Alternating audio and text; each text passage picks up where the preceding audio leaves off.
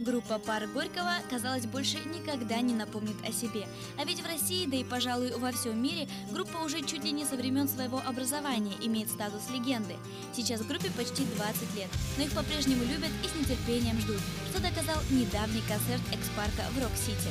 В 99 году группа разбежалась, и, у нас уже были такие частные проекты, вылазки. Ян вообще жил в Америке долго. Год с лишним назад он где-то вернулся, и мы решили сделать такой концептуальный.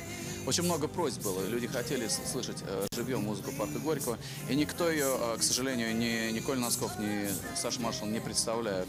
У нас огромный багажище такой музыкальный, и тем более очень много новых идей, не, не воплощенных. И вот мы решили осторожно год назад попробовали, и вдруг это в какую-то снежную лавину превратилось. Мы начали как бы это все сначала опять заново, как бы, пока вдвоем мини-реюнион такой. А сейчас вот Коля Носкова 50-летие, он предла- предложил нам вместе выступить в Кремлевском дворце съездов. Будет такой серьезный концерт, и мы вместе уже споем. И барабанщик Саша Львов из Америки приехал. А там, глядишь, может быть, что-нибудь запишем. нас- Но мы в любом случае, вот э, с Лешей, просто есть много материала на русском языке, и он прекрасно поет. И на китайском есть кое-что. И на- сделаем э, альбом на русском языке. Без этого. О своих преданных поклонниках и почитателях Белов и Яненков также стараются не забывать и правильно делают.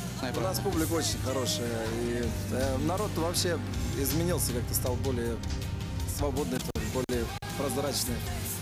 Сегодняшний концерт в Рок-Сити, как- какие у вас эмоции вызвали? У нас очень теплые эмоции. Очень тепло, прям теплые. чувствовалась энергия такая, и взаим- взаимный контакт. был Чувствовалась полный. любовь, не энергия. Энергия по проводам э, в РАО ЕС бежит. А мы чувствовали любовь сегодня. Это очень важно.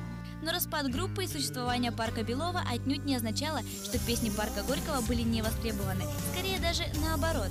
А, по-моему, в последней «Фабрике звезд» вы принимали участие. А, как вас вообще занесло рок-группу в такой попсовый проект?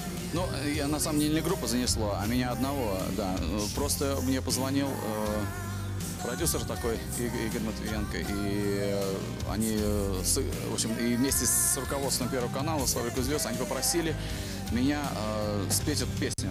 Им не хватало рокового номера, не хватало рокового номера на, на «Фабрике».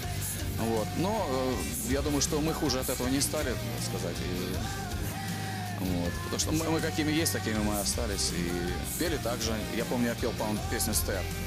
Да, да, да. В нынешний туровый состав группы входит лишь пять человек. Но без маршала и Носкова работа вовсе не замерла, как многие могли подумать. Наоборот, легенда жива до сих пор, пусть и не в полном составе. Я Алексей Белов. Я Ян Яненков. Мы члены группы «Пар Горького» специально для MTV Новосибирск. CD